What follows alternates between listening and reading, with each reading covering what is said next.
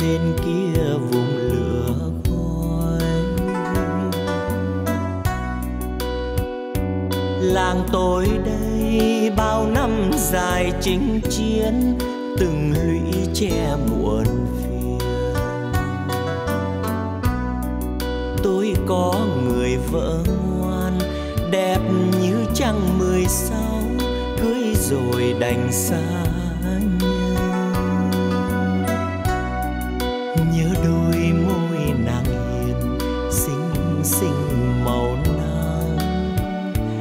Má nàng hồng thơm, mùi thơm lúa non. Ai ra đi mà không từng biển riêng xa người yêu mà dễ mấy ai vui. Em nhìn theo bằng nước mắt chia phôi.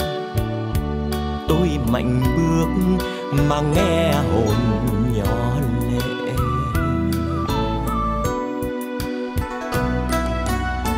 ngày anh lính chiến, người bạn pháo binh. Mẹ tôi tóc xương, từng đêm nghe đạn pháo rơi thật buồn. Anh rót cho khéo nhé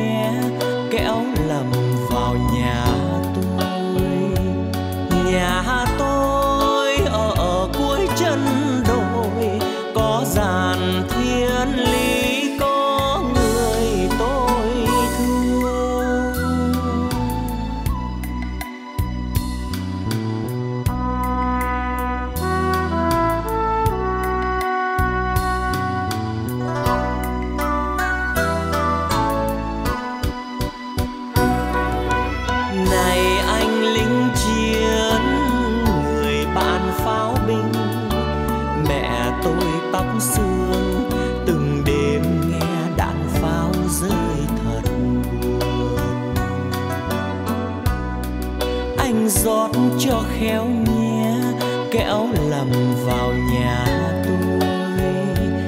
Nhà tôi ở cuối chân đồi, có dàn thiên lý, có người tôi thương. Nhà tôi ở cuối chân đồi, có dàn thiên lý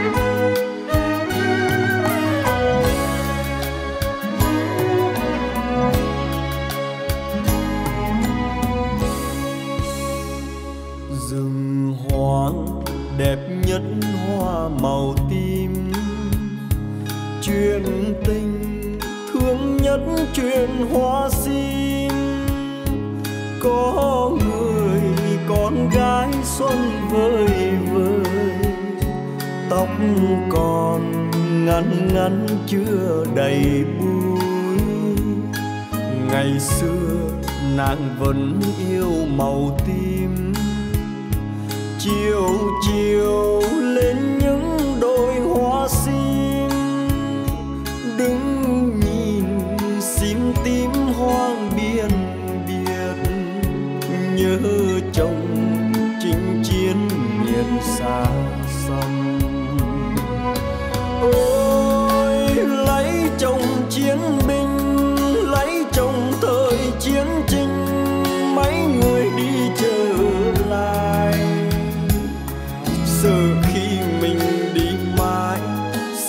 khi mình không về, thì thương người vợ bé bóng chiều quê.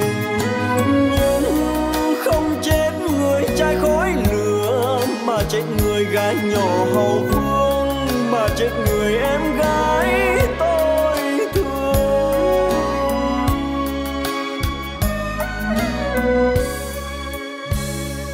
Đời tôi là chiến binh rừng núi.